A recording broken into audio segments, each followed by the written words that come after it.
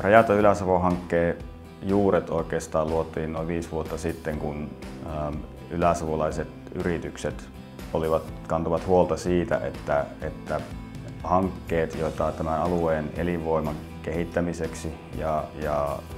osaavan työvoiman saamiseksi on tällä alueella toteutettu eri toimijoiden toimesta, on jääneet ehkä vähän pinnallisiksi tai sellaisiksi, että ne ei ole pitkäjänteistä ja pitkäaikaista vaikutusta saaneet tälle alueelle aikaiseksi. Täällä on jo pitkään ollut Ylä-Savossa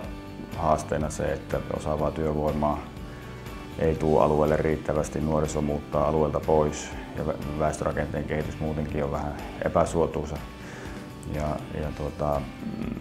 uusia yrityksiä ei hakeudu riittävästi tänne alueelle ja siitä huolimatta, että täällä on todella vahva teollisuus niin, niin kotimaan kuin jopa kansainvälisessä mittakaavassa.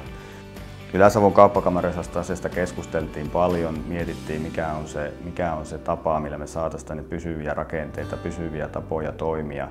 pysyviä tapoja auttaa tänne alueelle jo asettunutta teollisuutta kehittymään, kasvamaan. Ja, ja tultiin siihen tulokseen, että meillä täytyisi olla jonkunlainen hankkeiden hanke, joka yhdistää eri toimijat, yritykset, heidän tavoitteet ja, ja pyrkii luomaan ö, yhteisen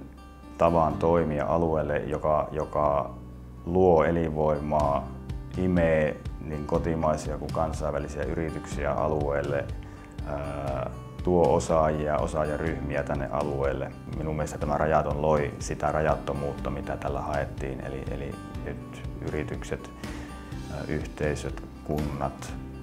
oppilaitokset jotenkin niksahti lähemmäksi toisia ja hoksas viimeistään nyt sen, että, että yksin kukaan ei voi toteuttaa mitään, vaan tässä täytyy niin kuin miettiä aina kokonaisuutena. Mä näen kauppakamarin roolin jatkossakin tässä erittäin vahvana semmoisena, joka yhdistää nämä hyvät asiat, joita täällä koko ajan eri osapuolet tekee. Ne yhdistää ne nimenomaan sillä tavalla, että näistä on niin kuin, yritykset pystyy saamaan niistä sen hyvän, mitä ne tarvii. Minun mielestä tässä hankkeessa saatiin erittäin hyvä aihio erilaisille asioille ja rajoitteista huolimatta saatiin kuitenkin myös positiivisia tuloksia aikaan, jolloin voisin nähdä näin, että seuraavassa askeleessa, kun tässä lähdetään asioita viemään vielä seuraava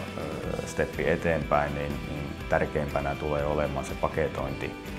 yläsavolaiseksi tavaksi toimia, mahdollisesti brändäys, jota yritykset voi ylpeästi viedä eteenpäin tätä olemme me, näin me täällä toimitaan, näin me mahdollistamme teollisuustuotannon ja, ja vakavan globaalin yritystoiminnan myös täältä keskeltä järviä ja metsiä vihreästä ympäristöstä, vihreästä Suomesta.